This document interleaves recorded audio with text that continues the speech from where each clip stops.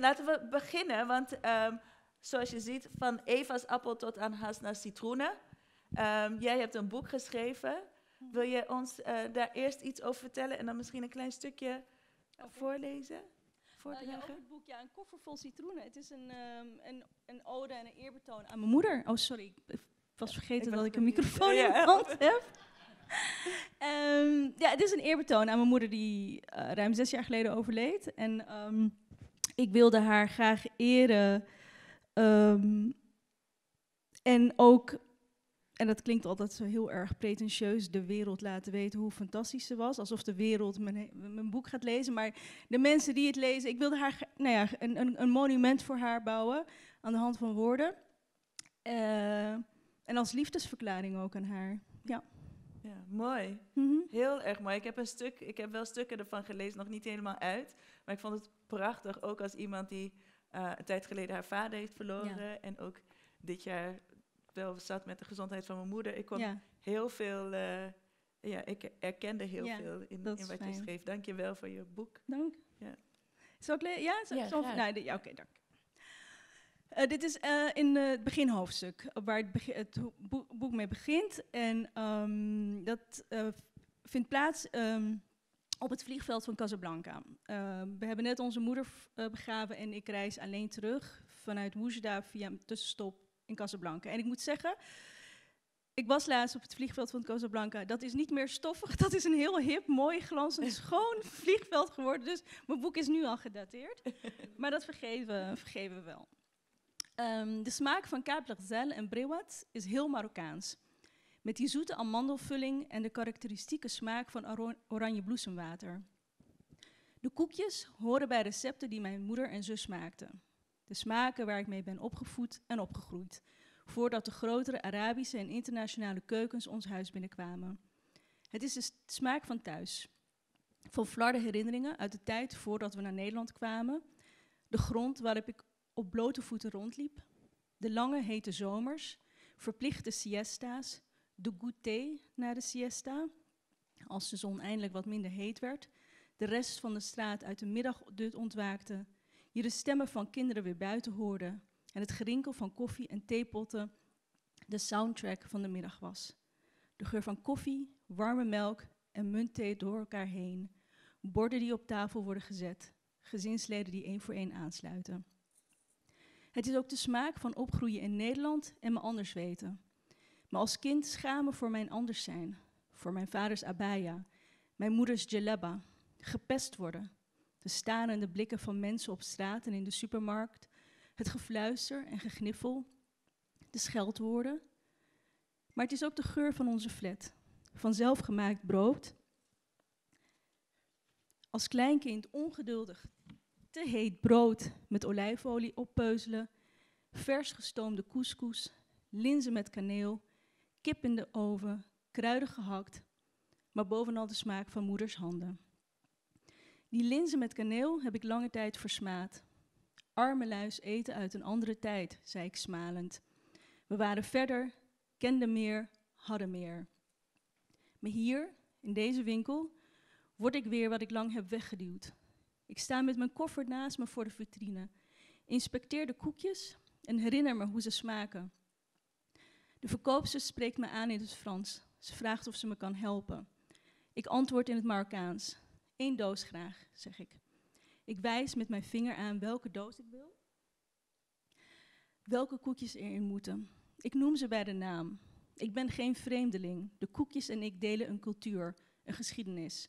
Daaruit ben ik voortgekomen, besef ik. Dit heeft me gevormd. Die koekjes zijn geen koekjes.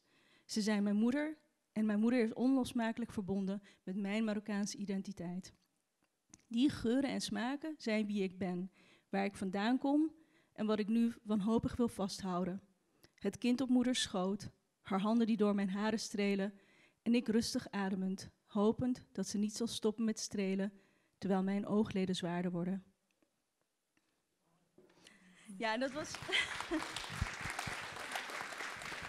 dat was dus op het vliegveld van Casablanca. En ik liep langs een koekjeswinkel. En ik liep er langs. Ik liep even naar binnen. Toen liep ik weer weg. En toen besefte ik, maar wacht eens even.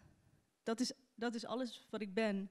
Dat is nu mijn moeder, nu mijn moeder kwijt ben, ga ik dat kwijtraken. Die smaak en de taal, alles, alles wat mij heeft gevormd, dat is verbonden met mijn moeder. En ik, op dat moment besefte ik, ik moet dit vasthouden.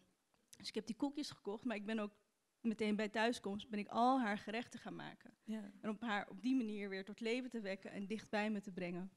Ja.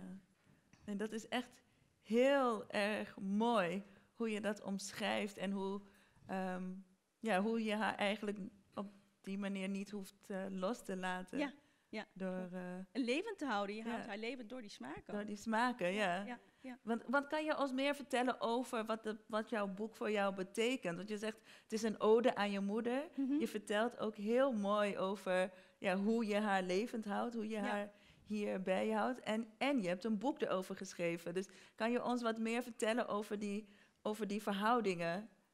Eh, ja, over het schrijven van het boek Eh, zelf. het schrijven van het boek Ja? en, en wat het dan voor je betekent. Ja, nee, dat was verschrikkelijk belangrijk. Ik Ja. bedoel, kijk, ik- de beslissing om een boek te schrijven was heel impulsief. Ik, het, was, het was kort na haar overlijden. En, ehm, dus ik, ik, heb, ik had toen een gesprek bij, met mijn redactrice en ik zei tegen haar, luister, ik kan nu over niks anders schrijven dan over mijn moeder. Maar ik wist niet wat ik me toen op de hals haalde, want ik, ik zat heel erg in de rouw. Mhm. Dus dat proces heeft ook bijna zes jaar geduurd om dat boek te kunnen schrijven, omdat het parallel liep met de hele rouwverwerking. Wat ik trouwens best wel een raar woord vind, rouwverwerking, alsof het iets is wat je doet en dan ben je er klaar mee. Maar dat is, dat is, dat is een proces waar geen eind aan komt. Nee. En eh, uiteindelijk is, ik, ik, en ik heb mezelf heel vaak vervloekt. Ik dacht, ik kan dit niet, ik ben, niet geno- ik ben geen goed genoeg schrijver hiervoor. Ik ga ermee ophouden. En dan zat ik weer huilend achter die laptop. Maar ik heb het volgehouden, omdat ik vond dat mijn moeder het, het waard was. Ik, Ja. ik wilde dit voor haar doen. Ehm, ik wilde dat ze gezien werd. Want bij leven werd ze niet gezien. Nee. Zoals heel veel vrouwen met een hoofddoek niet gezien worden. En ehm, dus ik ben, ik, ik ben nou ja, door blijven gaan. Op een gegeven moment heb ik besloten, had ik een, een versie waarvan, waarvan ik wist van, nou, dit is het niet. En het, ik heb het toen laten liggen, heel erg lang. Want Ja. ik wist ook, dit is een intuïtief boek. Dit is niet een boek dat je maakt met, weet je, een schema opstellen, heel ambtelijk. Nou, daar ga ik het daarover hebben, daarover. Nee, dit is een, boek geboren uit gevoel Ja. eerst hier en van daaruit gaat het naar de hersenen en van daaruit gaan mijn vingers aan de slag. En dat heeft, de tijd heeft heel erg geholpen. Ja. En op, ehm beetje rond haar vijfde eh, sterfdag, ehm, precies op haar vijfde sterfdag, was er een sneeuw. Was heel Nederland bedekt onder het sneeuw. En eh, dat voelde voor mij heel erg als een teken van haar dat ze nog was. En die sneeuw die bracht mij weer terug naar, naar mijn jeugd. Want toen wij pas in Nederland waren, hadden we enorme koude winters. Mijn broer is hier, die ging kilometers schaatsen in de kou. Kwamen we thuis, koud, janken bij de verwarming. En dat gevoel, en dat, dat heeft me toen heel erg geholpen om dat enorme verdriet waar ik mee zat en het sch- schuldgevoelens en alles, om daar iets van, ja, troost uit te halen of, of, of berusting misschien. Besef dat mijn mijn moeder en ik, dat, dat was, we waren zo. Ja. En, en, toen, en toen ging het schrijven ook. Toen, toen wist ik van, oh ja, nu, nu weet ik wat, hoe het moet worden. En ging ik alleen maar aantekeningen maken. En op een gegeven moment ging ik zitten, ging ik het maar script lezen. Van oké, weg, weg, weg. Dit erin, dit erin, dit erin. En toen begon ik er ook plezier in te krijgen. Dacht ik, oh ja, ik ben nu iets voor haar aan het doen. Ja. Wat, wat weet je, wat, moet wat moet zijn zoals, zoals ik het wilde. Ja. En ehm, dus het heeft me heel erg geholpen met de rouw, met het, met het vinden van troost, om Ja. uit dat dal te kruipen. En dat gezien worden van mijn moeder, dat was voor mij heel belangrijk. En ik denk dat mensen het nu zullen snappen, want heel veel mensen hebben het Marokkaanse voetbalteam gezien. Ja. En heel veel mensen hebben gezien hoe die voetballers met die moeders zijn. Ja. En ik vind het feit dat die moeders nu zichtbaar zijn. Op zo'n gelijkwaardige manier. Niet op die knieën gaan, niet neerbuigend van, oh wat heeft u een mooie hoofddoek. Nee, gewoon waanzinnige vrouwen die waanzinnige mensen opvoeden. En die worden nu gezien. Ja. En dat vind, ik, dat vind ik waanzinnig. Dat is wat ik mijn moeder, voor mijn moeder wilde hiermee. En dat is wat die jongens hun moeder geven. Even, ja, dat is heel, heel erg Ja. prachtig. Ja. Nee, en ook echt wat een, wat een magisch moment om dit nu te mogen bespreken met eh, wat, eh, wat er is gebeurd met voetbal. Ja, Eh, dat is ook een onverwachte wending, zeg maar. ja, ja. Eh, want, want over jouw boek nog, je, je schrijft op een heel zintuigelijke manier. Ook nu hoe je vertelt, hè? Dus eh, ook in je mond, de smaken, de herinneringen, de, geuren, de Mhm. texturen. Ehm, kan jij ons meer vertellen over wat, hoe dat jou helpt in het schrijven? Mhm. En hoe eten een rol daarin speelt als je zoiets schrijft? Ja.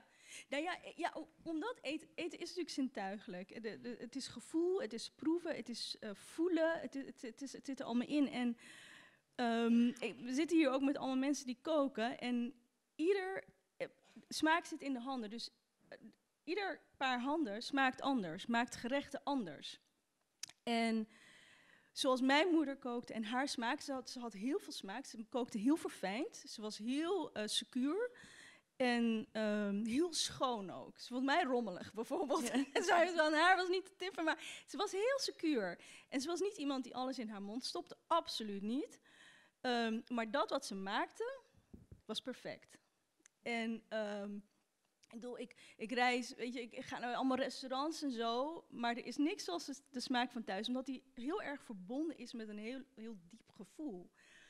En op het moment dat ik haar smaken maak, is het alsof ze weer bij me is. Ja. Alsof ze naast me staat en me uitlegt hoe ik de koriander moet hakken. Alsof ze bij me staat en kijkt of ik wel twintig minuten lang in die harira roer, zodat, die, zodat de bloem niet aankookt. Hè? Of de couscous. De eerste keer dat ik haar couscous maakte, ik, couscous is een gerecht dat ook heel erg verbonden is met, met wie ik ben als Marokkaanse vrouw. Eh, vroeger als kind vond ik er niks aan. Maar naarmate ik ouder werd, hield ik er meer en meer van en, en snapte ik ook wat het was. En waardeerde ik de smaak ervan. En couscous is het enige gerecht dat ik niet van haar had geleerd. En couscous was ook het enige gerecht waarvan ik steeds tegen haar zei: Ik kom je filmen en dan maak je het, want dan weet ik hoe ik het moet maken. Nou ja, de dag dat ze overleed, zou ze couscous maken. Ja.